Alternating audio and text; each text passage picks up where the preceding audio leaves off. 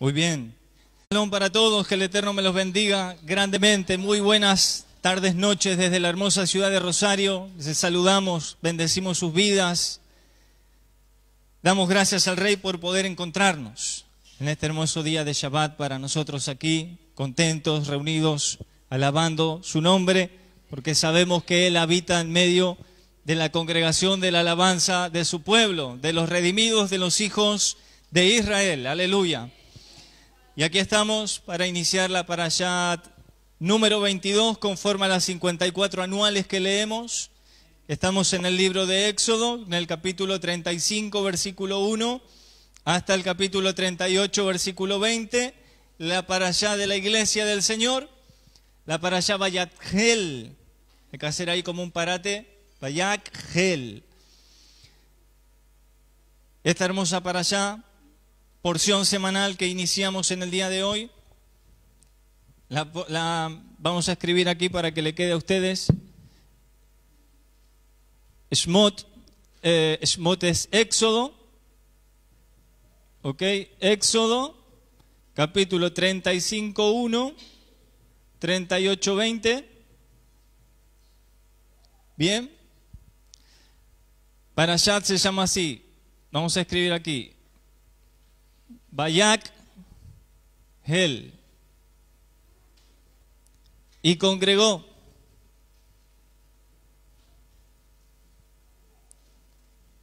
Y congregó. Ese es el título del día de hoy. Hoy recordamos también, en este día inicia el famoso Shabbat Shekalim, el Shabbat en el cual en épocas del templo y mucho antes también, ya se conmemoraba el poner el medio shekel en vistas de lo que ha de venir. Ya sabemos que viene obviamente la cita de, de Purim, pero el medio shekel era en vistas de poder comprar todo lo necesario para la celebración de Pesach, que se da en el 14 de Aviv. Entonces todo el pueblo colaboraba, todo el pueblo colaboraba poniendo una donación, una trumá, una ofrenda alzada, y eso se conoce como shekel o shekalim. Eh, cuando usted lo hemos leído ya anteriormente, está en el libro de Éxodo 30, 11 al 16, ¿ok? 30, 11 al 16, allí aparece, en la lectura para el día de hoy, que nosotros obviamos y no la hacemos, no por rebeldes, sino porque Luego cada uno en particular lo puede hacer en su casa también. En esta para allá, en esta para allá, que inicia ahí, capítulo 35, todos los tenemos. Amén, Baruch Hashem. Vamos a ir leyendo con la ayuda del Eterno entonces. Vamos a ir leyendo ahí. Damos gracias al Rey que Él nos ha dado su hermosa palabra ha elegido a su pueblo, le ha entregado su Torah y su Torah es vida para nosotros. Vivir dentro de los mandamientos, diga conmigo, es vivir en el camino estrecho. Lo que delimita el camino, porque ¿qué implica el camino estrecho? Uno no sabe cuánto espacio tiene para moverse, pero sabe que es estrecho. Lo que delimita el camino es la Torah. Lo que delimita el camino son sus, sus mandamientos, su palabra y todo lo que Él dejó escrito. Mientras vivamos dentro de ellos, ahí hay vida. El final de ese camino es vida. Pero después hay otro que no es, no es tan estrecho, no es tan angosto, es más cómodo para algunos. Pero para los que nunca hemos creído que sus mandamientos son pesados, sino que son livianos para nosotros, nos encanta vivir ahí, en ese camino, dentro de, ese, de esos mandamientos. Y la iniciación de la lectura del día de hoy dice así, Moisés convocó a toda la de los hijos de Israel. ¿Bien? Y les dijo, estas son las cosas que Adonai ha mandado que sean hechas. ¿Estamos bien hasta ahí? Seis días se trabajará, más el día séptimo será Kodesh, santo, día de reposo para Adonai, cualquiera que en él hiciere trabajo alguno,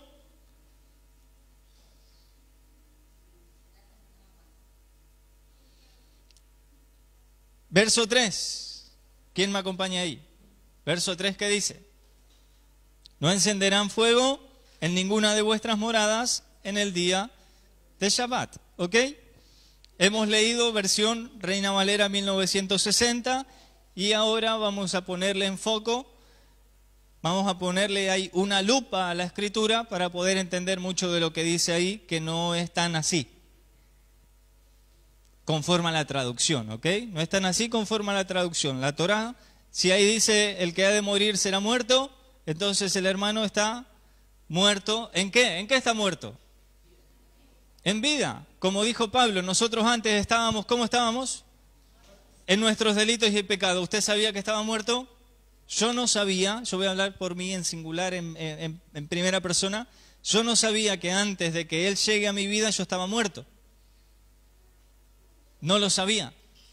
Mas, sin embargo, cuando Él se reveló nuestras vidas, entonces Él nos resucitó porque estábamos muertos y ahora nos dio una nueva vida. Y en esa nueva vida todas las cosas viejas pasaron, ¿sí o no? Perfecto. Entonces, si ahora tenemos nueva vida, de hecho el Nuevo Testamento habla de una nueva vida en Cristo. Si ahora estamos, tenemos nueva vida y volvemos a ser personas reincidentes, volvemos a estar, ¿cómo dice ahí? Muertos. Bien. Lo cual no implica muertos físicamente, pero sí de la misma manera en la que estábamos muertitos antes de, que Él nos conozca a nosotros. Pero vamos a ver las implicancias espirituales que eso tiene, las implicancias espirituales. Cuando nosotros vamos leyendo la para allá, de que de hecho no era tan larga, no tenía tantos capítulos porque estamos en un mes, eh, perdón, estamos en un año que, ¿cómo se llama este año? Muy bien, año preñado año de 13 meses. Cuando el año es normal, un año de 12 meses, siempre Vayakhel va con Pekudei. O sea, hay que leer desde el 35.1 hasta el final de Éxodo. Pero cuando el, cuando el año tiene 13 meses, entonces se parte. Una semana leemos esta y la próxima semana leeremos la última parte del libro de Éxodo. Bien, eso para que usted vaya colectando alguna información ahí de por qué a veces se lee junta y a veces se lee separadas. Es conforme a cuántos meses va a traer el año. ¿Bien? Estamos en un año de 13 meses. Por eso se lee separado. El año pasado leímos las dos juntas, exacto, muy bien. Y cuando leíamos la para allá, bien, viene los subtítulos a veces me ayudan como para ir resumiendo así rápido. Habla de la ofrenda del tabernáculo o para el tabernáculo, para el Mishkan. Habla de la obra del Mishkan, el pueblo trayendo su ofrenda, su trumá alzada para la construcción del Mishkan, el llamamiento de Betzalel y Aholiab, Moisés en un momento tiene que suspender la ofrenda porque dice, ya tenemos suficiente, le dijeron Betzalel y a le dijeron, ya tenemos, ya, basta, suficiente, hasta acá está bien, que no traigan más porque ya estamos pasados. No, no tan pasados, porque es todo exacto, pero no importa. Luego tenemos el mismísimo acto, en el capítulo 36, versículo 8 en adelante, el mismísimo acto de comenzar a construir toda la obra. ¿Vieron cuando hablábamos en otros tiempos un poco, ¿cómo sonaba eso? Em, motivacional, motivacional. Y hablábamos de que el Señor es orden. Cuando nos motivaban para que seamos gente ordenada, ¿en qué se ordenaba usted? ¿Cómo recibía usted ese versículo? Si decían, el Señor es orden.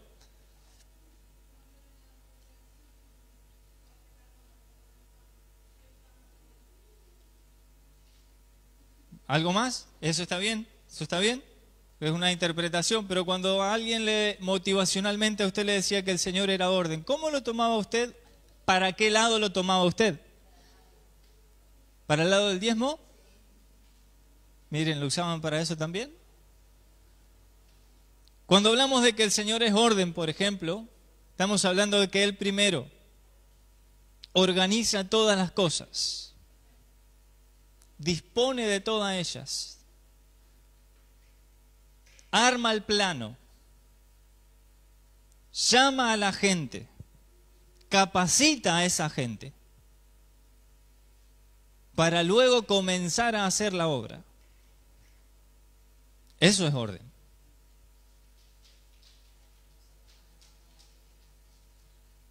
No sé qué tenía que ver eso, pero no importa, está bien. Eso es orden. El Señor planifica las cosas, las diseña, llama a la gente, capacita a esa gente que Él llamó para la obra, para que después esa gente comience a hacer todo conforme a lo que Él mismo diseñó desde un principio. Así está diseñada la creación de hecho. La creación está diseñada así, exactamente. Por eso es que tanto si le presta atención, si presta atención, si presta atención, si presta atención, va a ver que pareciera que a Oliab y a Betzalel lo llamaron tres veces. Porque en tres porciones distintas venimos hablando de que Dios llamó a Betzalel y que Dios llamó a Oliab. No, es que primero diseñó él a quién iba a llamar. Luego Efectivamente los llamó, luego los llenó y los capacitó, y ahora es que los va a alargar para que comiencen a hacer toda la obra que él mismo había diseñado. Y a mí lo que más me asombra, me asombra hermanos, cuando usted lee la para allá, yo me quedé asombradísimo. Y no es que no lo hayamos leído, es que sí lo hemos leído, pero como que la escritura año tras año va tocando un punto de nuestras vidas diferente la precisión con la cual Betzalel, Aholiab y todos los que Adonai llamó por nombre para poner manos en el arado, tuvieron que replicar la obra de una manera exacta. Exacta. Miren, esto lo vas a hacer así oro por adentro, oro por afuera, lo vas a recubrir así, después lo vas a hacer así, después así, ta, ta, ta, ta, ta, todo el protocolo antes de ingresar lo tenían ahí. Digan conmigo, era gente sabia. Porque Adonai mismo los había llenado a ellos. No eran sabios porque nacieron sabios. No, no, no, no, no. Esa sabiduría, hay una sabiduría que Santiago habla, que es terrenal que es animal, que es diabólica, pero hay una sabiduría que no proviene de este mundo. Hay una sabiduría que el mismísimo Dios llena a una persona, la capacita cuando va a poner las manos en el arado para que esa persona no se desvíe ni a diestra ni a siniestra de todo lo que tiene que hacer. Esas personas que Adonai ha llamado aquí, digan conmigo otra vez, eran sabios pero a ninguno se le cruzó por la cabeza aplicar su sabiduría o esa sabiduría adquirida para decirle, por ejemplo, a Hashem, ¿qué te parece si lo hacemos así? La menorá va a quedar linda, pero ¿qué te parece si le hago este ribete para acá en vez de para allá? ¿Qué te parece en vez de ponerle una almendra ahí, un almendro, le ponemos una manzana? En vez de ponerle a esto, bueno, vos me dijiste que hagamos un mitzveach, un altar de oro, el que va a ir adentro del del Moed, el que llevaba el incienso era un altar de oro. Pero donde se quemaban los sacrificios, el altar que estaba afuera, ese era de cobre. A ninguno de todos ellos se le ocurrió decirle al Eterno, mira, con el oro que sobró, ¿qué te parece si le ponemos a este en vez de cobre? Va a quedar más lindo. ¿Alguna vez alguien de los que está aquí, tal vez me pasó a mí solo en alguna oportunidad, lo he hecho, siendo ser humano con debilidades, y en alguna oportunidad tal vez pecando de, ah, porque yo sé, de aconsejarle a Dios cómo Dios tiene que hacer las cosas? O sea, a mí me parece que mejor puedo hacerlo de esta manera y hasta acorto el camino. No requiero de tanto esfuerzo. Mira, si lo hago así me va a ir bien, vamos a llegar al mismo final, pero tomamos distintos caminos. Sin embargo, Adonai ya había decretado el camino, había puesto el protocolo, había dicho los cómo, los cuándo, los por qué, no. Sin, sin embargo, en el cómo y en el cuándo, todos los que estaban ahí sabían que se debían manejar, que esos eran los parámetros de vida para ellos.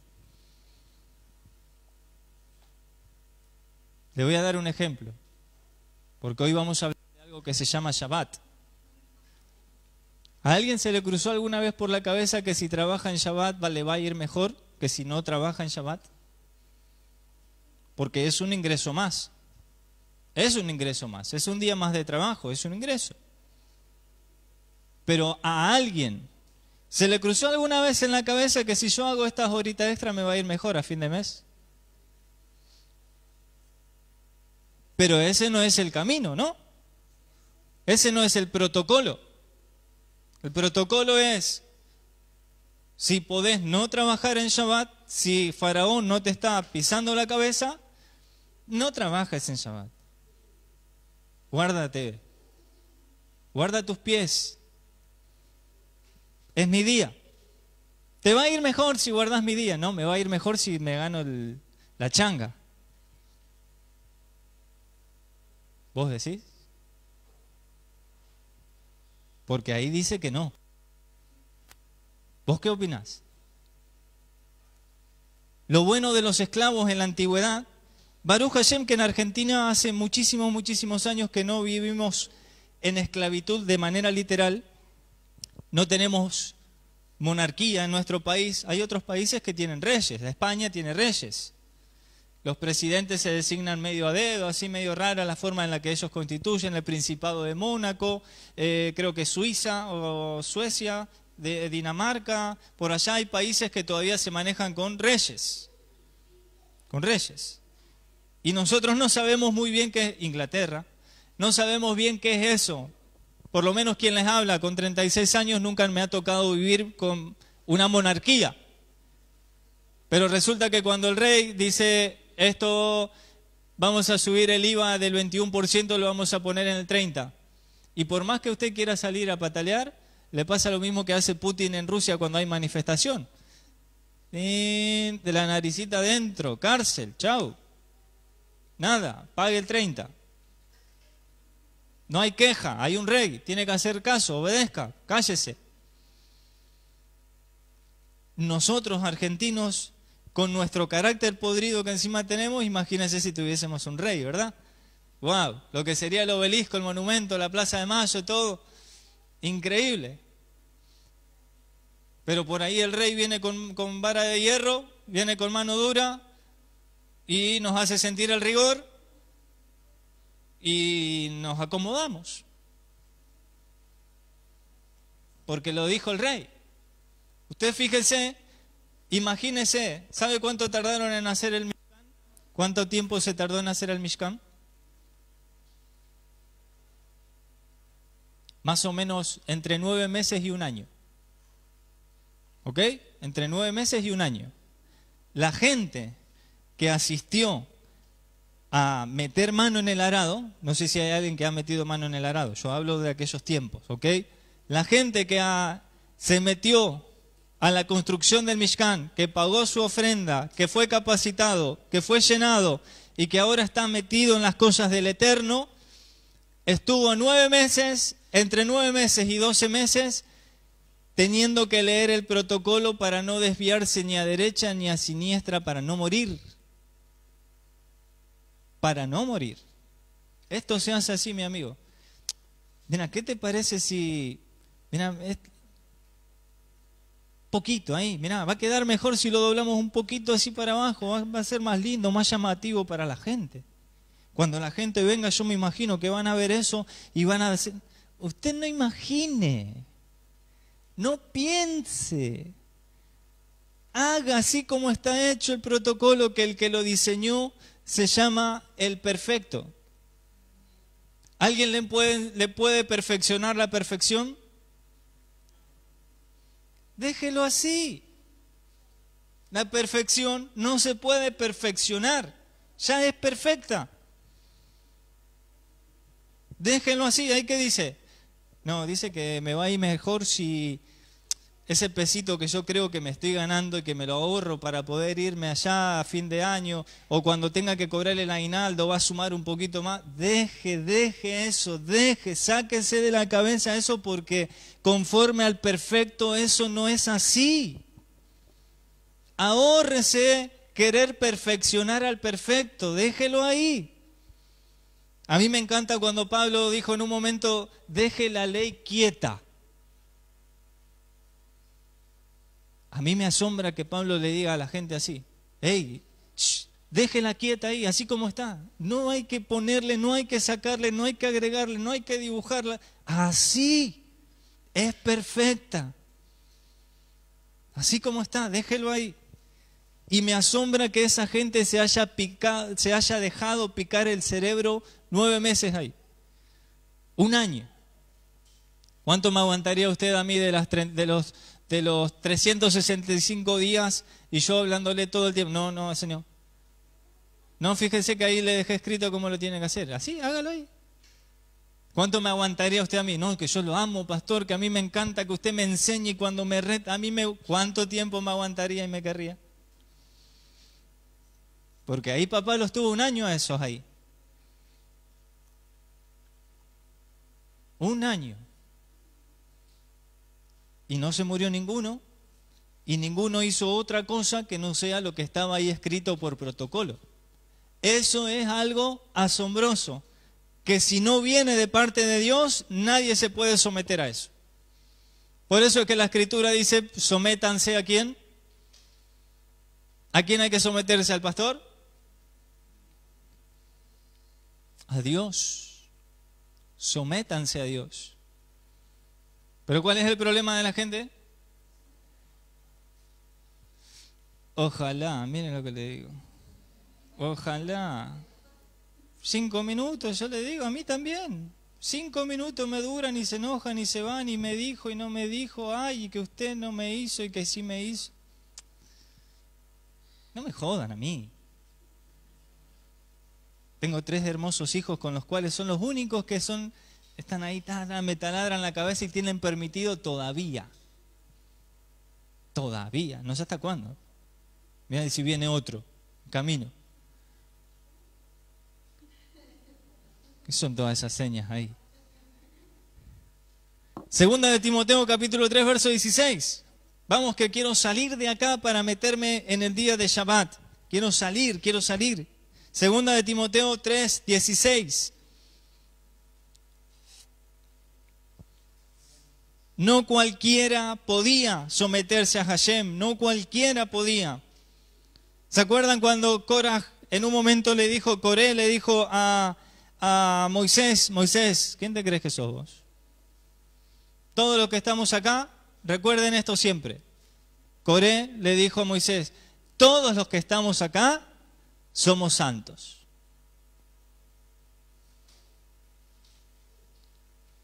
A lo cual Moisés en ningún momento le dijo, mm, queridito, usted está equivocado. No, no, no, estaba diciendo una verdad. Eso era verdad. Todos habían alcanzado santidad. Pero no todos habían sido llenados para soportar lo que había que soportar. Esa es la diferencia, ese es el secreto. Hay que ser, diga conmigo, íntegro no cualquiera es íntegro dentro de la santidad. No cualquiera es íntegro. ¿Qué es ser íntegros? ¿Qué dice el Salmo acerca de los íntegros? De los tamim. ¿Saben quién era íntegro, por ejemplo? Job. La escritura dice que era un varón yashar betam, recto e íntegro, completo. No tenía dobleces. Noé. Otro. Íntegro. Capacitado. El Salmo 119 habla de los íntegros de camino. los que andan en la perfecta ley de Adonai. Intachables. La escritura nombra acerca de los ancianos, de los diáconos, todos los que querían poner mano a la obra, le ponía un requisito fundamental, que sean intachables, que no tengan mal testimonio ni de los de adentro, ni de los de afuera. ¿Tan sencillo que afuera tengan mal testimonio de nosotros? ¿O que nosotros mostremos mal testimonio? Bueno, si tenía mal testimonio desde afuera, esa persona no podía poner la mano en el arado. Debía ser íntegro. Podía estar en la congregación, claro, pero no podía ocupar ciertos lugares. Listo. Porque además de ser santo santificado, distinguido, hay que ser una persona íntegra.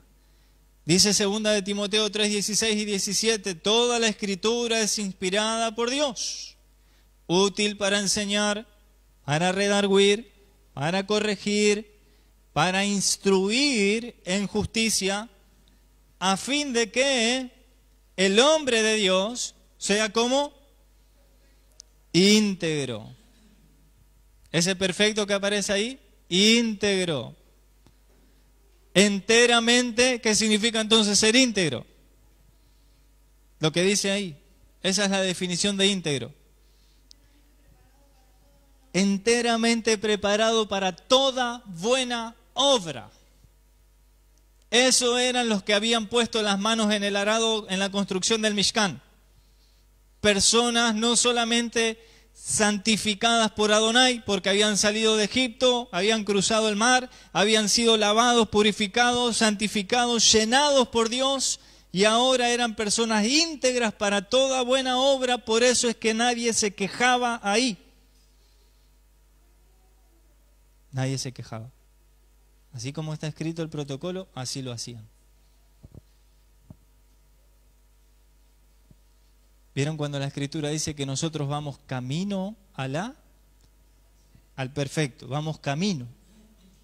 Él nos va refinando, él nos va purificando. Algunos se ponen más duros, más rebeldes, peor, les duele más, les va a costar más. Van a sentir más el rigor, porque purificar Perdón, porque refinar los va a refinar igual. Refinar los va a refinar igual, porque si Él los llamó, Él los va a refinar. Depende cuánto usted se ponga en rebelde. Modo rebelde, peor para usted. A mí lo que me diga el pastor, yo no lo voy a hacer. A mí no me va a afectar en nada. A mí no me va a provocar ningún daño. Me tocará parar las 99 para ir a buscarlo. En cualquier momentito lo voy a tener que ir a buscar, pero no voy a ser yo quien sufra las consecuencias. Yo le avisé. Y hoy, en el día de hoy, no vamos a llegar a ver esto, lo vamos a ver mañana quiero ir directamente para el versículo 3 que estábamos leyendo en la para allá. El verso 3. ¿Dónde estamos? Acá. Lote va'aru esh. ¿Cómo dicen nuestras Biblias? A ver, ahí llegué. Acá estoy. 35 vamos a leer el 2 y el 3, ¿sí? 35 2 y 35 3, porque hoy el tema central del día de hoy, más allá de lo que a mí me sorprendió de la para allá, que es lo que recién les compartí, cómo esa gente se sometió de una manera tan intachable y perfecta a Dios sin mover ni dejar de mover lo que estaba escrito. Eso a mí me, me rompió la cabeza, pero hoy quiero centrarme en hablar del día de Shabbat porque además le va a ser de muchísimo beneficio a todos aquellos que nos miran, que están en sus casas, que tienen esta pregunta, escuchen, tienen esta pregunta. Ya que ustedes guardan el Shabbat, ¿qué hacen en Shabbat ustedes? ¿Nunca le preguntaron eso? ¿Y qué, qué, qué, qué hacen? ¿Qué hacen ese día? ¿No hacen nada? Muchos saben cómo contestar, otros todavía no saben cómo contestar, y entonces vamos a colaborar un poco con todo eso. A partir de la para allá, con estos dos textos, seis días será hecho Ahí dice, trabajo, eh, bueno, capaz que sale distinto, ¿no? Está bien. Seis días se trabajará, más el día séptimo, ese texto, bueno, yo lo voy a leer de la Torah, ¿ok? Sheshet Yamim, seis días será hecho trabajo y el día séptimo será para ustedes Kodesh. Kodesh, es decir, santidad. El Shabbat es Kodesh. Ya lo habíamos visto de igual manera. El Shabbat es santidad. Shabbat Shabbatón será para Hashem. Todo el que haga en él, en él, o sea, en el día de Shabbat, todo el que haga en él trabajo, morirá. Y ya hemos visto que es morir. Verso 3. ¿Cómo dice en su Biblia el 3? A ver. Ese.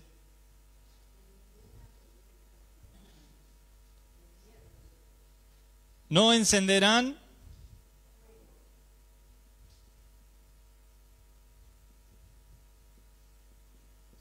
Ok. En ninguna, lo voy a escribir todo ya que está.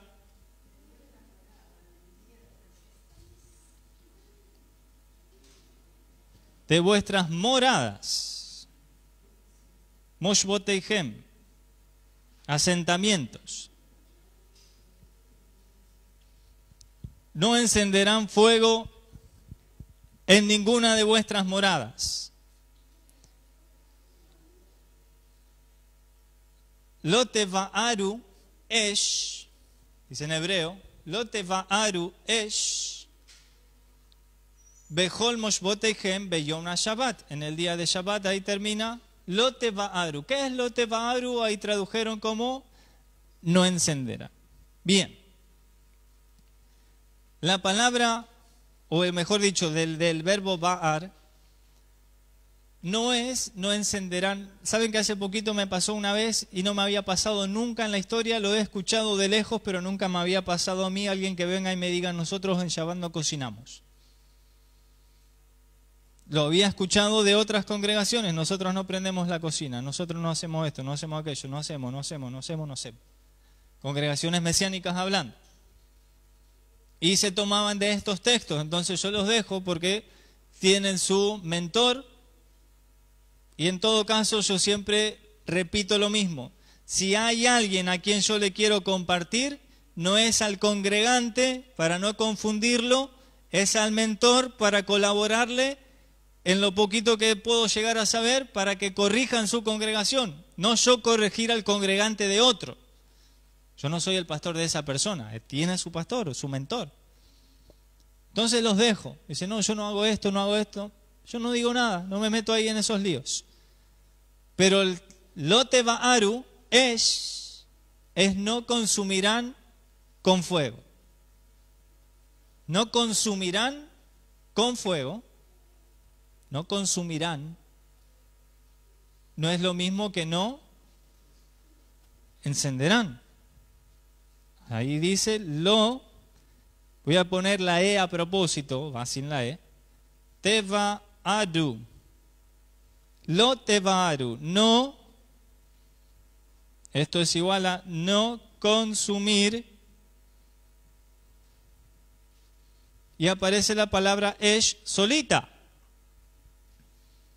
es decir, fuego. No consumirán. Y no, si usted lo lee así, dice, ah, que no, obvio, no se van a comer el fuego, si lo puede llevar para ese lado, no consumir fuego. No, no, no pasa por ahí. Veamos el texto de Éxodo ahí mismo, en el capítulo 34, o sea, un poquitín más atrás. No hacía falta irse tan lejos. Un poquitito más atrás, 34.21, ¿qué dice ahí? Porque viene hablando en contexto. ¿Qué dice el 34.21?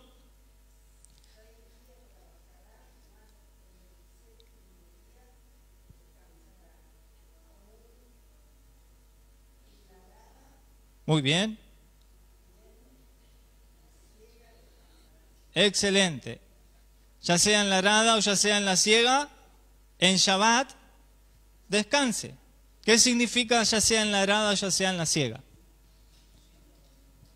Cuando se siembra o cuando se cosecha. Son meses distintos. De hecho, tenemos fiestas para eso también. No me voy a meter ahí ahora. Entonces, mire, culto racional, poco de lógica. La escritura viene hablando acerca de si es Shabbat, no importa si es época para trillar y después poder sembrar. Y no, es, no importa si es época de recoger, cosechar, si es Shabbat, usted se queda quieto. No importa, quédese tranquilo que no se va a echar a perder, ni va a perder tiempo, ni va a perder beneficio, ni va a perder rédito, no va a perder nada. Usted se queda quieto. Viene hablando de sembrar y cosechar. ¿Dónde se hace eso? A ver, ¿dónde se hace eso?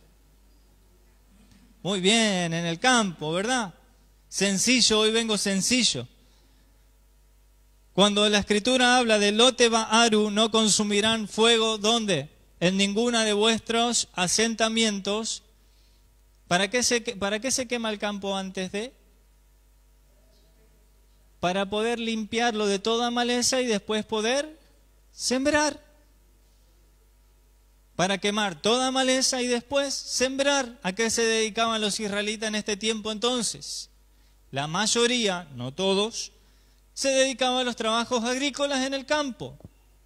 Por eso es que Adonai le dice, no siembren, no cosechen, no preparen la tierra, no consuman con fuego, no preparen la tierra para el día de mañana sembrar. No tiene nada que ver el texto este que han tomado para decir no podemos prender ni el fuego de la cocina. No tiene nada que ver. Acá se está hablando pura y exclusivamente de toda actividad laboral, redituable, que te va a traer un beneficio económico a tu vida. Eso es lo que no se puede hacer. No se puede incinerar el campo para después sembrarlo en el día de Shabbat. No se puede hacer eso. Tranquilo. ¿Hasta ahí estamos bien? Vuelvo y repito esto, nada tiene que ver de la pobre gente que no le dejan prender fuego en el día de Shabbat ni para la cocina. El texto no va para ahí. Y por eso es que hemos leído el 34, algunos versículos antes, para que vean, ni en la siega ni en la cosecha. Shabbat es Shabbat, pare, cese la actividad. Tranquilo. 12.16 de Éxodo. Hoy vamos a hablar duro y parejo, le vamos a dar al Shabbat, al Shabbat, al Shabbat. Primero para aprender y luego para hacer. No solamente somos gente oidora, somos gente hacedora. ¿Verdad que sí? Coseche poquito, amén. Yo lo digo así porque total, los hermanos que están ahí escuchan lo que yo digo aunque usted no. Poquito, amén. 12.16 del libro de Éxodo.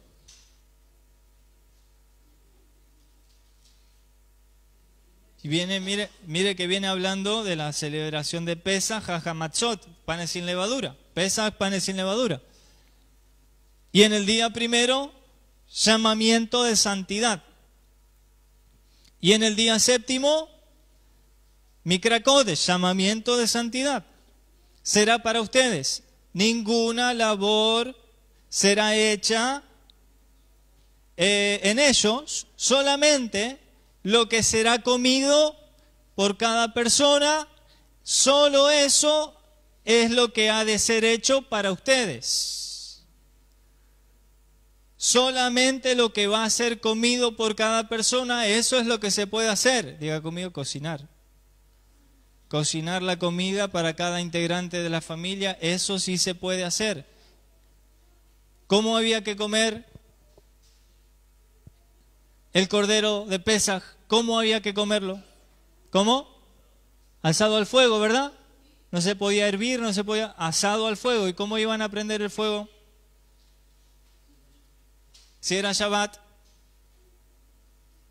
¿Cómo iban a prender el fuego si era Shabbat?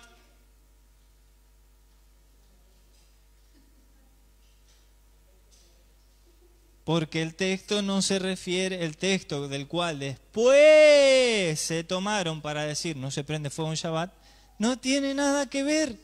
Porque en Éxodo 12, 16, el animalito, el cordero, tenía que ser quemado con fuego y ese día la escritura dice, este primer día es Shabbat. Y el último día también va a ser Shabbat. Solamente en ese día van a hacer para comer para ustedes. Solamente. No van a hacer otra cosa. Diga conmigo, no se puede hacer otra cosa. Se puede dispersar tanto. Que ocuparse de esto. Lo del fuego creo que ya está claro. Ahí la gente prendía fuego, no hay problema. De hecho, Pesajim capítulo 5, eh, Pesajim 5b, ¿alguien lo encuentra? Lo vi alguno buscando, por eso dije. Pesajim está en la Mishnah. La Mishnah, Pesajim 5b, 1, aprende de esta declaración, dijo Rabí Akiva, un tal Rabí Akiva, no voy a hablar de él hoy, no porque si no pero aprende de la declaración de Rabia Akiva, tres alajot, dice, la eliminación del hametz. ¿Alguien sabe que para Pesach había que eliminar todo lo que tenga levadura? Antes de Pesach hay que eliminar todo tipo de levadura. En sí mismo eso se constituyó para el pueblo, no conforme a la Torah, para el pueblo se constituyó en una fiesta en sí misma. La fiesta de llevar la levadura al templo y esa levadura, ¿saben qué se hacía? Con ese hametz se prendía fuego. Eso era una, una, fiesta en sí misma popular, no marcada por la Torá, pero sí se hacía una fiesta. La eliminación del hametz solo se puede realizar mediante la quema. Aquí va, basa su opinión en el hecho de que está prohibido encender el fuego en el festival. ¿Qué quiere decir eso? Aquí va, les está mostrando también que sí se podía encender fuego. Recuerden, si llevamos el Hametz afuera y cae Shabbat, vamos a prender fuego igual. Y vamos a quemar el Hametz igual. Porque esto no tiene nada que ver con no prender la estufa de tu casa. No tiene nada que ver con no prender la cocina de tu casa. Y estoy, le cito la Mishnah a propósito. A propósito. Usted a le quedará el ojo cuadrado, pero hay otros que ya la agarraron y hay otros que no van a ver, que van a decir, ah, mira este. Segunda dijo, aquí va, dijo tres cosas. La segunda, la ja, la prohibición de encender fuego en Shabbat fue señalada específicamente en la Torah para dividir las diversas tareas, para dividir las diversas categorías primarias de trabajo. Categorías primarias de trabajo. ¿Qué es una categoría primaria de trabajo? ¿Se puede sembrar sin primero quemar el campo? ¿Qué es primero? Encender fuego. El campo. Y aquí lo está dejando también clarito, dice, es una categoría primaria de trabajo y como es trabajo, no se puede hacer, mi amigo. Porque el problema no es el fuego, el problema es no trabajar.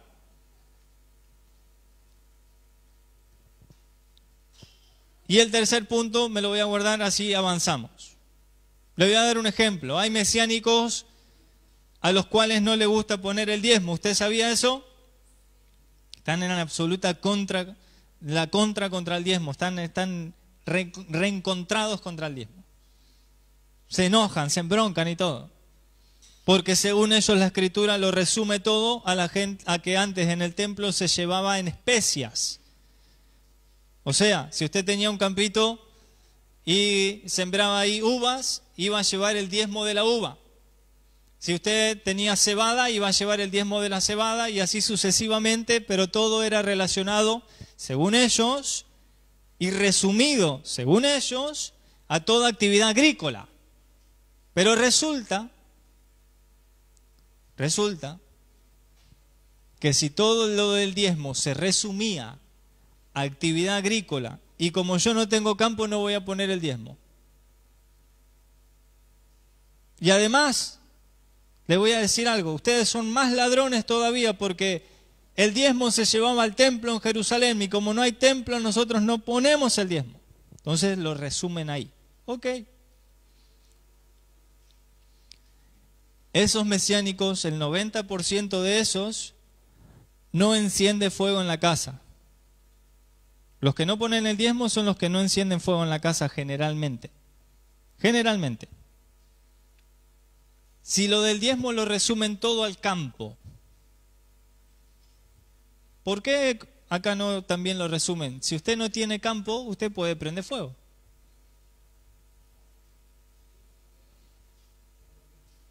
¿Por qué no prende fuego en su casa usted? No, porque dice la Torah, ¿qué dice la Torah? A ver, que no encenderán fuego en el campo.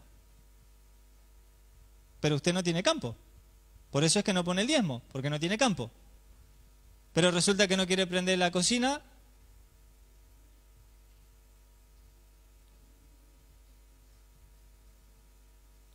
Explíquemelo porque no, estoy, no estaría comprendiendo yo. Si no tiene campo, no aplica ni una ni la otra. Así como usted dice que no pone el diezmo porque no tiene campo, perfecto. Entonces prenda la cocina. Quiero verlo yo a usted prendiendo la cocina porque usted no tiene campo. Quiero verlo yo en Shabbat que me cocine algo a mí. Porque usted no tiene campo. Apliquemos la lógica. Pero la gente no es lógica, la gente está desequilibrada.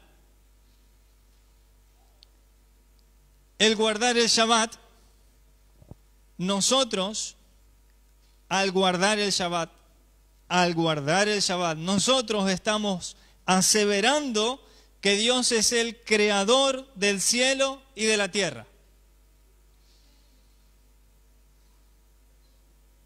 ¿Cuántos tienen un Dios creador del cielo y la tierra? Guarda el Shabbat. Porque es la única manera de que usted con sus actos diga que su Dios es el que creó el cielo y la tierra.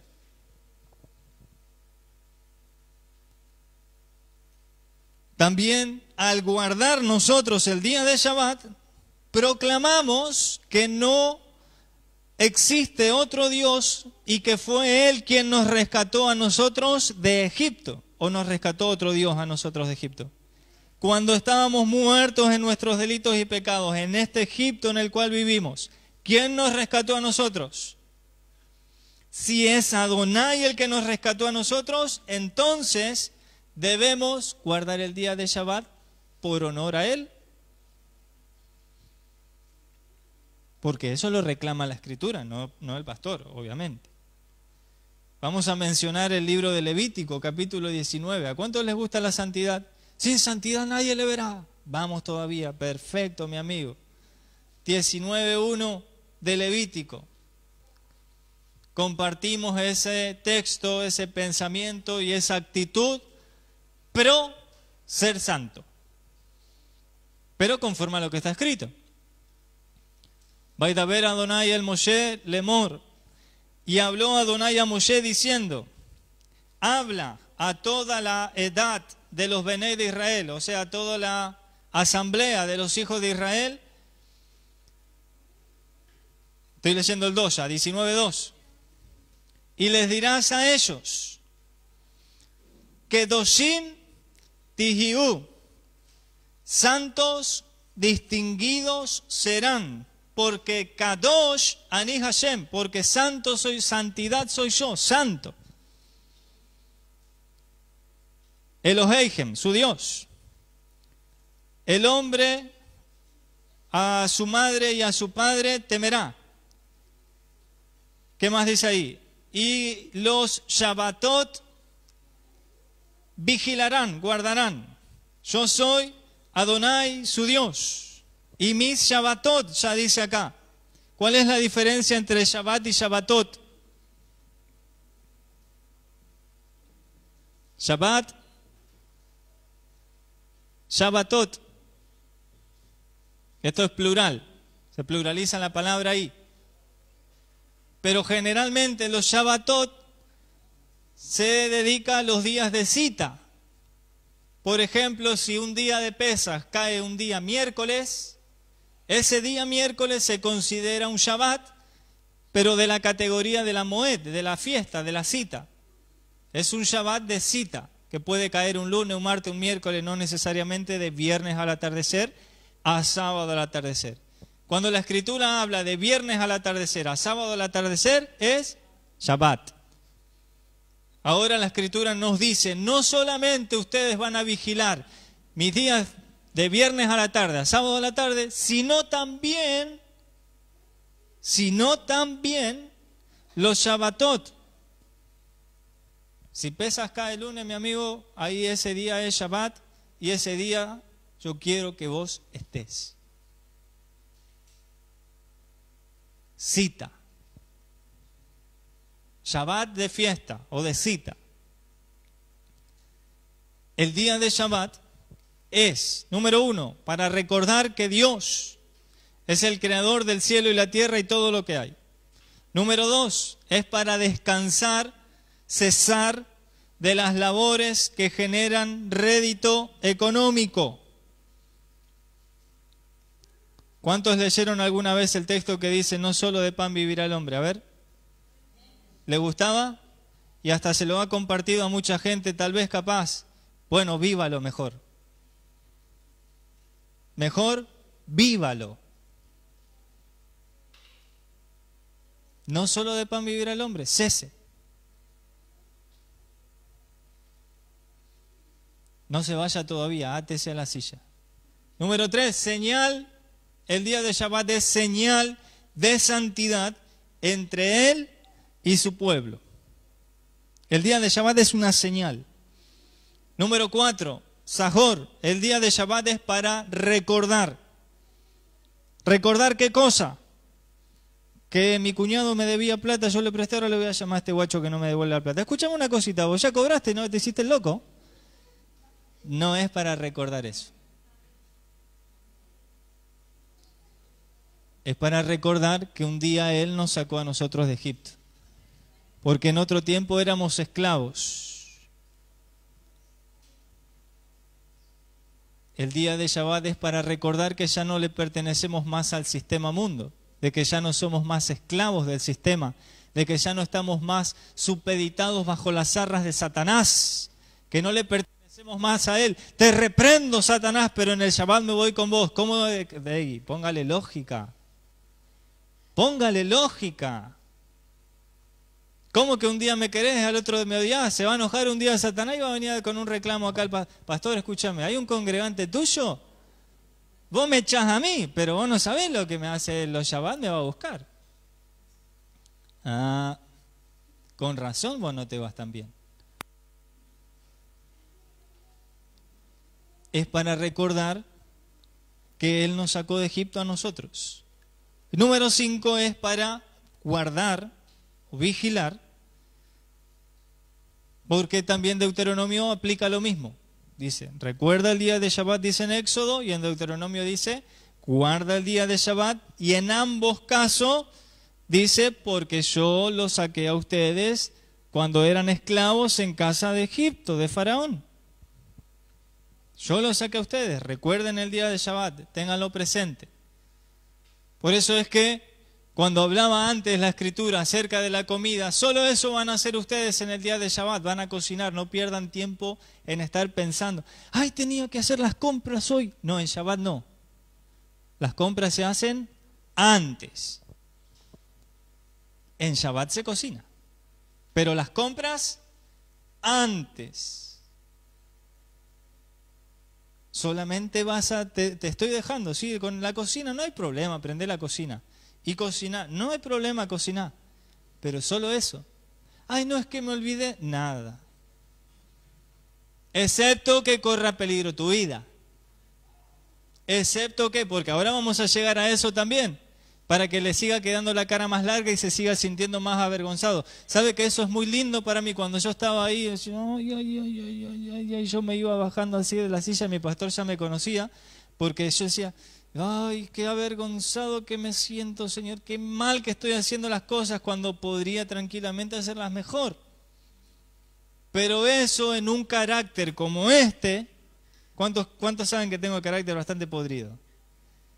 En un carácter así, eso siempre me ayudó para bien a mí, nunca para mal.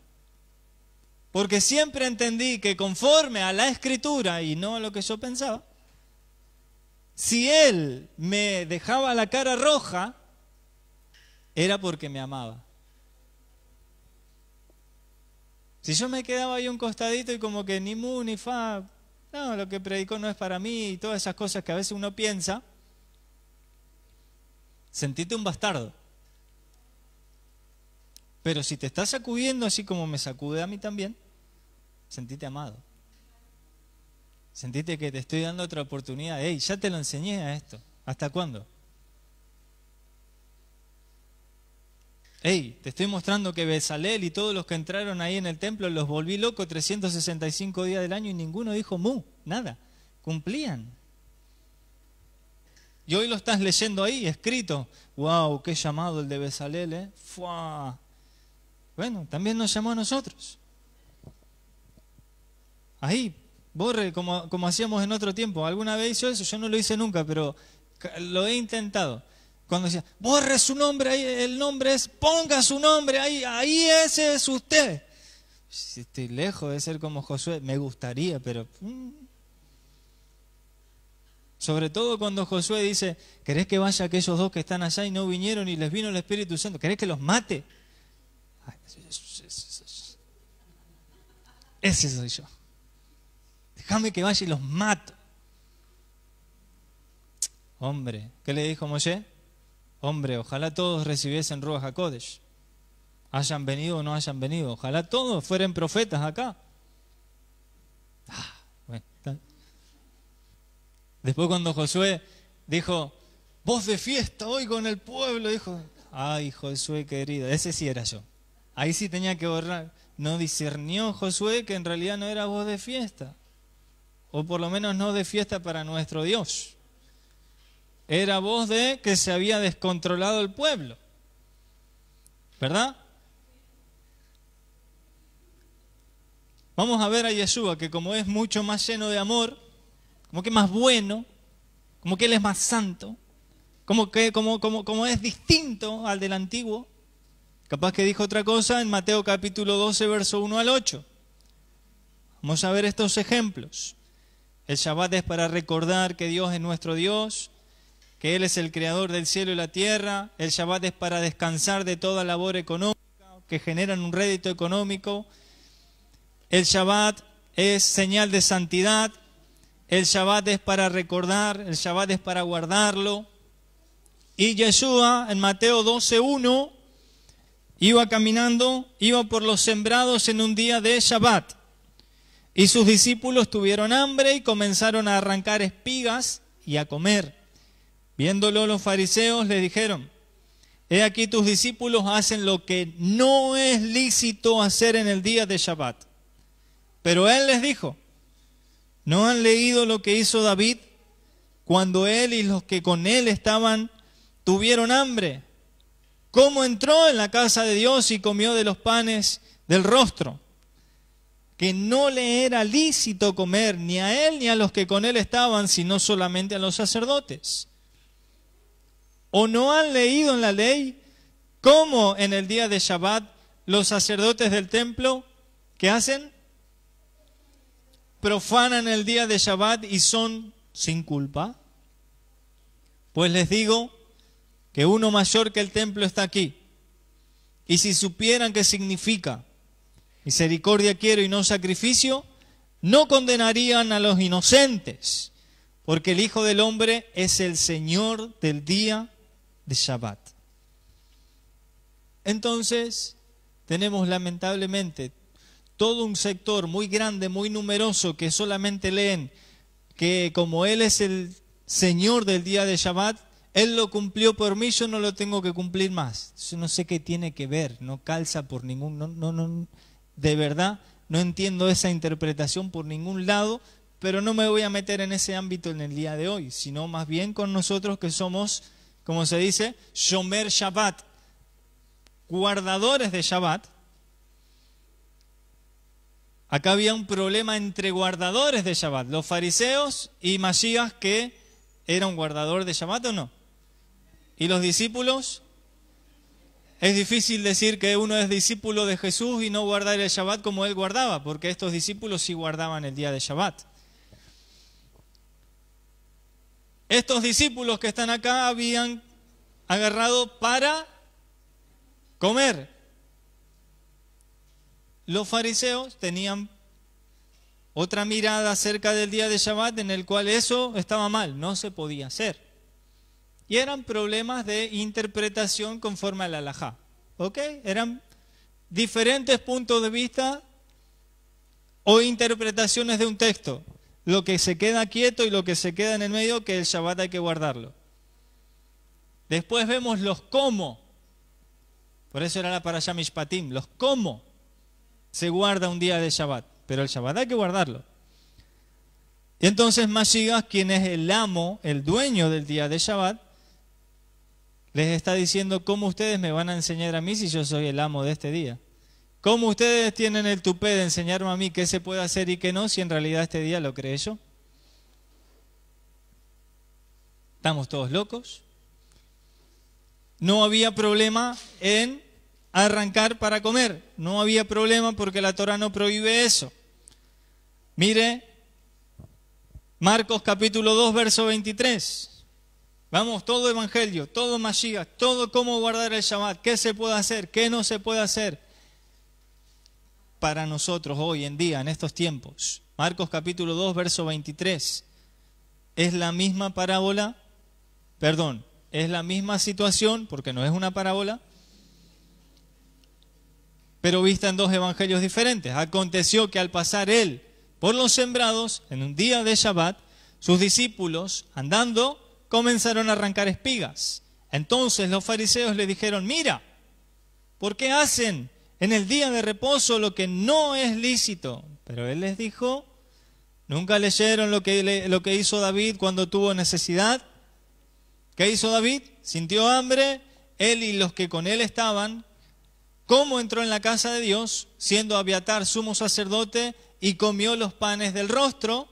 De los cuales no es lícito comer sino a los sacerdotes, y aún les dio a los que con él estaban. También les dijo, el día de Shabbat fue hecho por causa y no el hombre por causa del día de Shabbat. ¿Qué quiere decir eso? El día de Shabbat fue hecho por causa del hombre y ha comido en beneficio.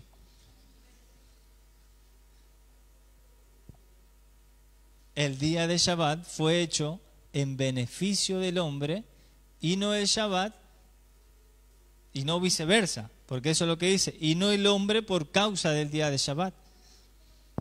¿Quién se beneficia de guardar un Shabbat? ¿Para qué lo creó el Eterno?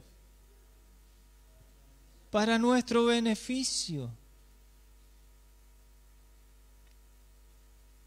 Cuando Él dice en la Escritura, y lo leemos en Isaías, lo leemos en Ezequiel, y en el primero del mes, en la cabeza de la, luna, luna nueva, perdón, y en el día de Shabbat, vendrán todos a postrarse y a adorar mi nombre, ¿para quién es el beneficio? Para nosotros. Por tanto, el Hijo del Hombre es Señor aún del día de Shabbat. Clarísimo. Muy bien, Mashiach. Hasta ahí ¿Podemos comer o no podemos comer? ¿Podemos arrancar o no podemos arrancar? Claro. Es que estos venían de camino. ¿A dónde venían de camino? A jugar a la bolita, a, jugar al cebibón, no sé a qué, a qué podían jugar en aquella época. Venían a la sinagoga. Venían, como dice la escritura, como era su costumbre de guardar el día de Shabbat, venían a la sinagoga. Y ya que estaban, manotearon ahí, comieron. Mateo capítulo 12, verso 9. Mateo 12, 9. Pasando de allí, vino a la sinagoga de ellos. Y he aquí que había allí uno que tenía la mano seca. Y le preguntaron a, a Yeshua, para poder acusarlo, le preguntaron, ¿ok? ¿Es lícito sanar en el día de Shabbat? Él les dijo, ¿qué hombre habrá de ustedes que tenga una oveja si ésta se cae en un hoyo en día de Shabbat? ¿No le eche una mano y la levante? Pues, ¿cuánto más vale un hombre que una oveja? Por consiguiente, es lícito. ¿Qué cosa? Es lícito hacer el bien.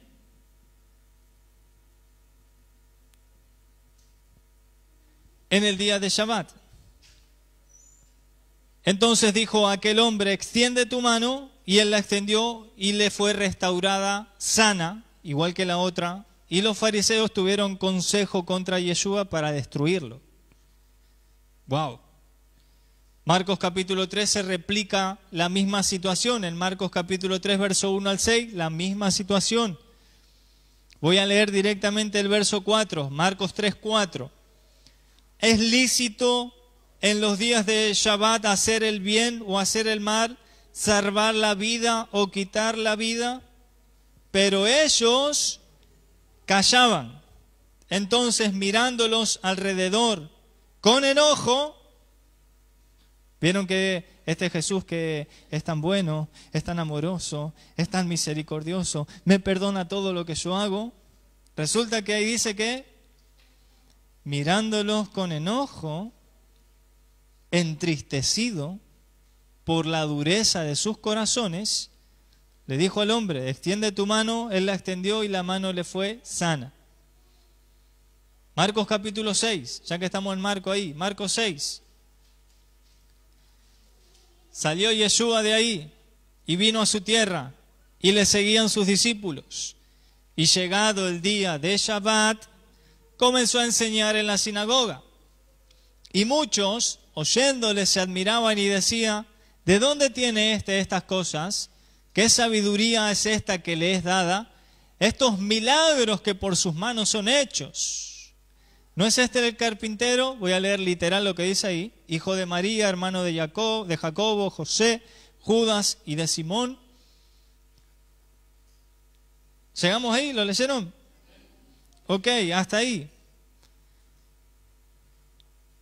¿Dónde estaba Yeshua? En la sinagoga, enseñando, haciendo milagros, compartiendo su sabiduría. La gente se admiraba Lucas capítulo 13, verso 10.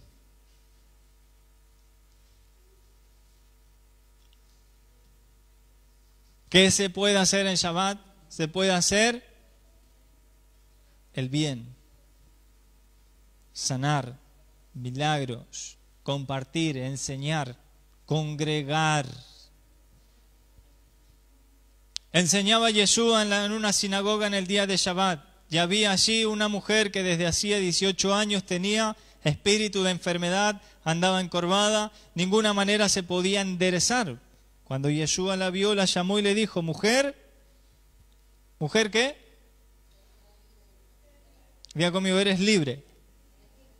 ¿Cuál era el problema que teníamos nosotros cuando estábamos presos con Faraón? Éramos y en el día de Shabbat que hay que recordar que Él nos, nos sacó, es decir, nos libertó de la esclavitud que allá teníamos, por lo tanto en el día de Shabbat es para que nosotros seamos gente. Ah, ah, ah, ah, ah, ah, ah. Ah, ah, ah, ah, ah, ah, ah, ah. Libres libre para... Y todos corrían y yo las miraba eso. No tiene pinta de libre este. ¿eh? Libre para... Yo le ponía la mejor cara, pero a mí como que se me nota mucho. Yo prefiero que, que hagamos.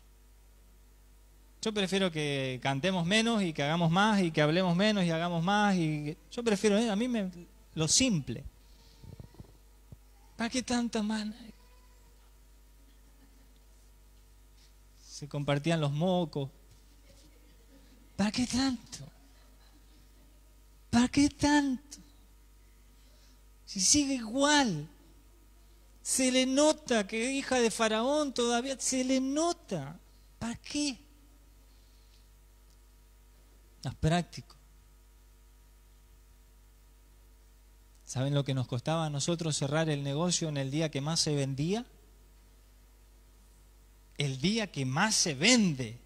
El día en el cual todas las chicas quieren tener ropa linda para irse a bailar.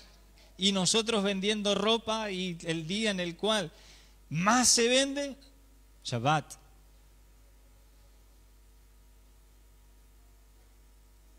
Transpirábamos la gota gorda a veces, ¿eh? Pero era purita la carne que quería salir nomás, ¿vio? que quería poner la opinión de decir, ¿y qué te parece si... Nada. Cierre. Ok. Ya, tocó. Si somos libres, Señor. Y entonces ahí sí corría. Libre para correr. Pero había días en los cuales no me daban ni ganas de porque él sabe, el que conoce, discierne, ¿sí o no? No porque mi Dios discierne los corazones y las intenciones. Pare, De gracias que no lo consumió sabiendo usted todo eso. De gracias. Ahí, hombre. A veces queremos sacar chapa de, de, de, de qué, digo yo. Yo congrego en casa de mundo. No digan, no digan, no digan, no digan, no digan. No digan, no digan. No Porque ahí, ahí guardan el Shabbat. ¿Para qué le dice si usted no viene? Es que estos planteos yo los tuve con hermanos así cara a cara, face to face. Panim el panim. Fue allá tres idiomas. ¿eh? Cara a cara. Hermano, escuche, usted le dijo al pastor aquí que no iba a congregar más ahí, que esa iglesia no guardaba en el Shabbat y entonces ahora venía acá. Usted viene acá, pero acá no viene. Usted dice que viene acá, pero yo no lo veo. Usted en el día de Shabbat está haciendo platita allá. Money. Shekels. ¿Usted se imagina si ese pastor lo encuentra en el día de Shabbat a usted haciendo money y le dice, ¿Te acordás de mí?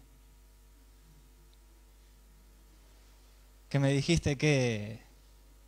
En otras palabras, me dijiste que yo era un pecador que no guardaba el Shabbat y que vos eras santo porque sí guardaba el Shabbat, pues estamos haciendo lo mismo. Vos me vendés, yo te compro.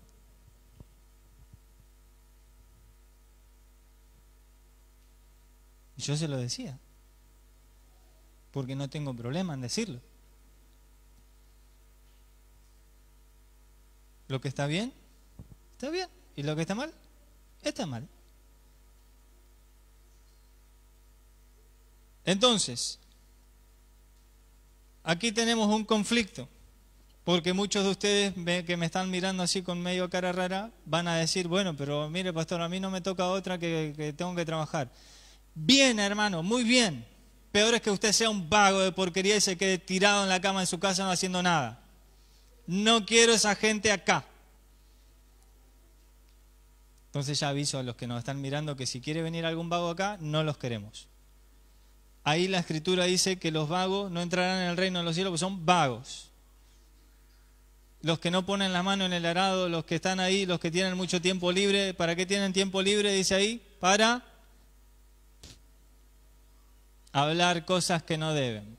Me gusta la gente que está trabajando, ok. La pregunta es, ¿qué estás haciendo para revertir esa situación? ¿Te toca trabajar en Shabbat? Ok. Faraón eh, está reinando el mundo. Dice la escritura ahí que el príncipe de este mundo es Satanás. O sea que no te va a dejar así tan fácil que guardes el Shabbat. No te va a dejar. Pero vos qué estás haciendo para que sí te deje guardar el Shabbat. ¿Ya te buscaste otro trabajo? ¿Estás tirando currículum? ¿Estás viendo otras opciones? Si te salió este que te dice, mira, yo te necesito de lunes a jueves, de domingo a jueves, te pago 50. Ah, no, a mí el de Shabbat me paga 100. agarrar los 50. Escuchen, agarrar los 50.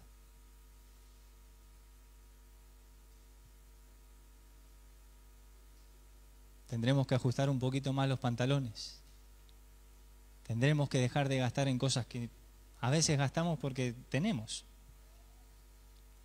para poder cumplir un mandamiento del papá. Cuando a mí me, la gente me habla de amar al Señor, yo le voy a decir como una de las mejores formas de amar al Señor. Ahí dice, guarde sus mandamientos. Y le voy a decir que para poder guardar uno de sus mandamientos muchas veces te la tenés que jugar. Muchas veces te la vas a tener que jugar, vas a tener que demostrar que sos digno de. Ay, no, pero yo no sé si voy a llegar. Hace números. Sentate, organizate, porque así hace nuestro Dios. Se sienta, organiza, entonces así, sa, sa, sa, sa. Ajustate a donde te tengas que ajustar y procura siempre poner por encima el mandamiento y vas a ver que te va a ir bien. No al revés. No es al revés. Es primero, bueno, voy a ver, porque si usted me paga 50, ofrézcame 80. No, mientras voy a seguir acá. No. Anda para allá, agarra los 50, asegúrate el viaje, hace méritos, porque la escritura dice que cuando nosotros trabajamos para el sistema hay que trabajar, que todo lo que hacemos, hacerlo como para el Señor. Y como lo vamos a hacer como para Él, y se nos va a notar, y se nos va a notar, y vamos a poder guardar el Shabbat y vamos a poder guardar su palabra y nos vamos a instruir, a nutrir, a estar contentos compartiendo el Shabbat, entonces, entonces, Él es quien va a poner en el corazón de esa persona, bueno, ahora sí, pagale 80. Ah, pero yo cobraba 100 allá.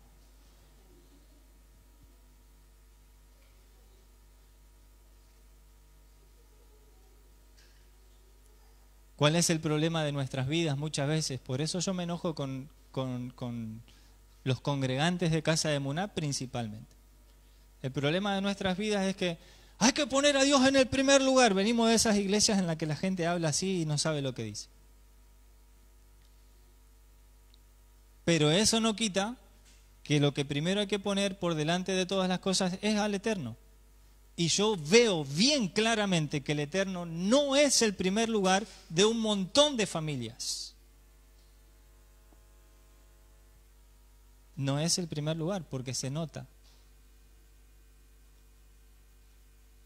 Yo puedo brindarles a ustedes testimonios largo y tendido y a mí no me gusta hablar de mí, de qué es verdaderamente jugártela por el eterno y tener que dejar, bueno, lo voy a tener que dejar. Y pero a mí, viste que yo, y a mí me gusta, y hace tantos años, y me parece que, y para darle una manita, nada.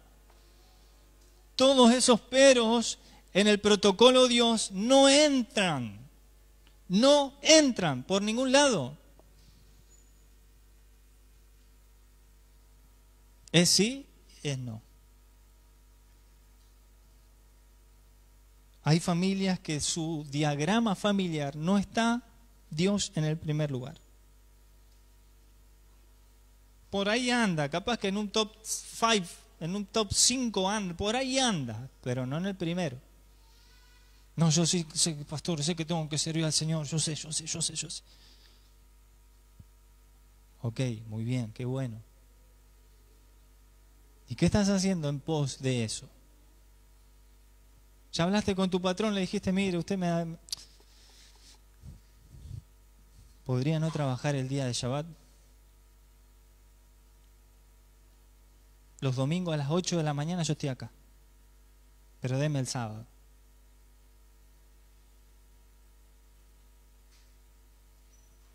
Vemos qué dice el patrón. Capaz que el patrón dice que sí, capaz que el patrón dice que no. Pero ¿qué hiciste? ¿Qué hiciste para? ¿Qué estás haciendo en pos de? ¿Qué estás haciendo? Vuelvo y repito, yo soy el primero que quiere que ustedes trabajen y si tiene toca trabajar en Shabbat, bueno. No estoy yo ahí ni con el látigo ni para apedrearlo, no. No conozco a ningún integrante de Casa de Muná, ya lo he dicho incansablemente, que a mí me haya dicho, pastor, voy a poner dos días de ayuno. Nosotros sabemos que el ayuno no es magia. Dos días de ayuno, usted me acompañaría porque si lo hacemos de a dos, por ahí, dos días de ayuno para poder encontrar algo y que el día de Shabbat, miren, no, no, no trabaje. Estoy buscándole la vuelta por todo, ya hablé con el patrón, ya hice esto, ya hice aquello. ¿Me ayudaría con un ayuno? No sé, ya no sé qué hacer, pero estoy buscando la vuelta. Nadie. Nadie, nunca. ¿Saben qué hacía yo? Esto que les estoy contando. Todas las opciones habidas y por haber, y cuando ya no había opción a la mano, al alcance, ¿qué hacer? Y algo tengo que hacer. ¿Qué más? Señor, yo quiero y yo quiero y yo quiero y yo quiero. ¿Conocen los nenes caprichosos? No veo nenes caprichosos así de la misma manera para las estupideces que para pedirle al Eterno, Señor, yo quiero guardar tu día de Shabbat. No los veo. No veo todavía paredes ahí que se les esté cayendo el reboque de tanto que le están pegando. No lo veo, no lo veo, no lo veo. No lo veo nadie. Esto tiene que ser de acusación para nosotros, los que nos decimos vigiladores del día de Shabbat, porque no están alineados los planetas. No veo al Eterno encabezando la lista. Vuelvo y repito, no veo paredes machucadas de cabezazos, cosa de que yo puedo dar testimonio de eso. He roto paredes con la cabeza en pos de poder servirle al Eterno de alguna manera. De verdad ustedes, de verdad, pero de verdad, ¿saben lo que es pedir días de vacaciones adelantados? Semanas de vacaciones adelantadas días sin goce de sueldo, sin goce de sueldo, sin goce de sueldo, sin ingreso, no había, EIN, no hay. No, pero eso está mal. ¿eh? Sí, puede ser, mire, escuche, hoy en día, yo le digo ahí, eh, espere, espere, no, no, no sé si, espere, hoy yo, a usted, pero yo en otro tiempo lo hice, me la jugué, di todo lo que tenía, todo lo que estaba al alcance de mi mano, en beneficio, en pos del Creador, déjeme decirle algo, mal no me fue. Mal no me fue. No nos para nadie cuando nosotros queremos, no te para nadie. El otro día hablábamos con hermana Vicky porque hemos vivido experiencias similares. Hermano Héctor, yo de chiquito jugaba la pelota y ellos tienen ahí jugando a Yamil también y por ahí nos tocaba, ellos me contaban que fueron, lo llamaron para, para jugar en un lugar, fueron a uno y le tocaba en otro, una cosa así, que tuvieron que rápido al otro, como que le pifiaron de dirección o algo así, me había, no recuerdo cómo bien cómo había sido, pero a mí por a veces me tocaba jugar en dos clubes. Entonces terminábamos un partido y papá o mamá, la que estaba ahí, volando a la otra punta de Rosario para jugar otro partido. Ah, porque el nene, yo, el nene es feliz, el nene... Tira ahora, Feri. El nene ni se enteraba, el nene jugaba porque nos gusta jugar al fútbol, pero los felices somos nosotros, hay que decirlo. Mi papá dejó de ser feliz cuando yo dije no juego más al fútbol. Ay, ¿no era que yo me tenía que sentir feliz? Yo le dije, papá, no juego más al fútbol y ¿cómo no vas a jugar al fútbol? ¿No dijiste que yo tenía que ser feliz? Bueno, yo soy feliz no jugando más. No, pero no puede ser. Ah, ah, ah, ah, ah. ah. pero hacíamos todo lo que estaba a nuestro alcance y más todavía. Y cuando teníamos que salir a bailar y meternos 10, 15 adentro de un auto y todos apretados y gastarnos hasta todo lo que teníamos en pos de ser, wow, qué lindo que la pasé, no veo que ahora eso se haya dado vuelta para hacer el bien.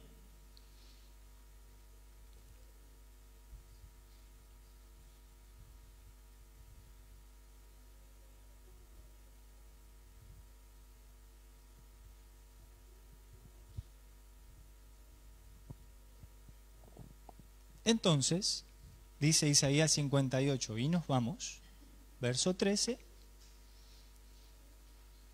con toda esta hermosa paz que a mí me gusta compartirles los mensajes sin gritar,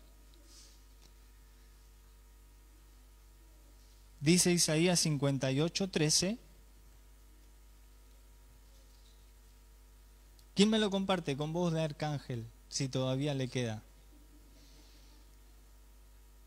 Fuerte y tronante.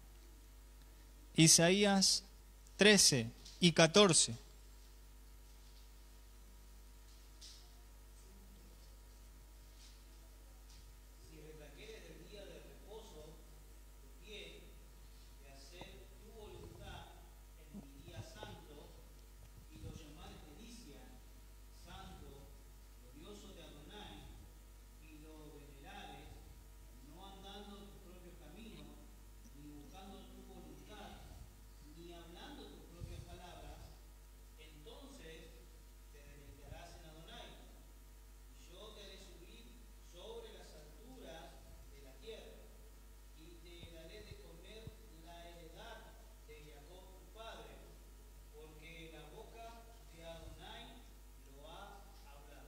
Amén. Más o menos. Si regresas desde el Shabbat, tu pie, si regresas desde el Shabbat, tu pie, de hacer jefets, ahí ponen tu voluntad. Jefets no es tu voluntad. Jefets es lo que a uno le da complacencia, lo que a mí me hace sentir bien. ¿Qué te hace sentir bien? Y creo que mañana juega el Leeds a las 9, por ahí vi la propaganda. El equipo de Bielsa. Contra el Tottenham. Van a perder otra vez porque vienen... Pero eso a mí me genera complacencia. Pero es Shabbat.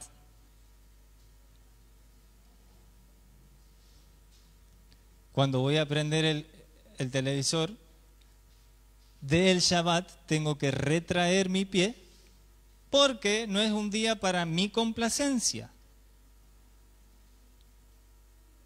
No es para mí la complacencia. Por eso es que a veces cuando vuelvo y repito, nos toca trabajar en Shabbat, no veo a gente preocupada de que estamos haciendo algo que no se debe hacer porque lo sabemos. Yo estaría ahí en el día de Shabbat trabajando, supongamos que me toca, pero estaría cortando como la... ¿Vieron cuando cortábamos la margarita? Me quiere, no me quiere, me quiere, no me quiere, me quiere, no me quiere. Me quiere. ¿Cuándo me larga Faraón? ¿Cuándo me larga? ¿Cuándo me larga? ¿Cuándo me larga? ¿Cuándo me larga? Eh, me estaría volviendo loco por dentro, con mi mejor cara, porque estoy trabajando y tengo que hacerlo bien pero por dentro me estaría carcomiendo. No es el día de mi complacencia, es el día de retraer el pie de mi complacencia. Ya tuviste seis días para hacer lo que quería, ahora no. cese. Cese. Toca hacer el bien, toca congregar, toca la espiritualidad, toca recordar de que el hombre no solamente vive de lo, sino de toda palabra que sale de la boca de Hashem. Si regresas desde el Shabbat tu pie de hacer lo que te complace, en el día de mi santidad, por si a alguien se le olvidó, en el día de mi santidad, entonces llamarás al Shabbat delicia. Si no, no es un Shabbat deleitoso, delicioso. Y nos habla de la palabra mejubat, ahí hay un lío bárbaro, y kabet, ¿qué es, qué kabet? ¿Qué es kabet? Cuando dice honra a tu padre y a tu madre, kabed, ahí aparece la palabra kabed, honra. Al Shabbat aparece la misma palabra, honra el día de Shabbat. Dele importancia, dele el peso necesario. Es Shabbat, es Kodesh, es santidad para Hashem, no para nosotros, para Hashem. Hashem lo hizo en beneficio de nosotros, eso es otra cosa. Pero yo no me voy a complacer a mí mismo Hashem me va a complacer a mí porque yo estoy guardando su día Kodesh. Amén. ¿Qué se puede hacer entonces en Shabbat? Bien. Ser libre, ¿Cuándo expresamos libertad nosotros? Al guardar el día de Shabbat. Demostramos que somos verdaderamente libres, que el Hijo del Hombre nos hizo verdaderamente libres. Bueno, guarda el Shabbat. No, eso para mí no. entonces, ¿se puede trabajar en Shabbat? Muy bien, muy bien. En el mientras tanto, yo hoy me sitúo en esto. ¿Qué estás haciendo para no seguir trabajando en Shabbat? Bien. Diga conmigo, hoy es Shabbat. Cambie la cara entonces. Me voy deleitoso. Me voy amado. ¿Se siente amado? Ninguna reprensión al momento es causa de alegría ni de gozo. Pero, pero, es para nuestro bien. Amén.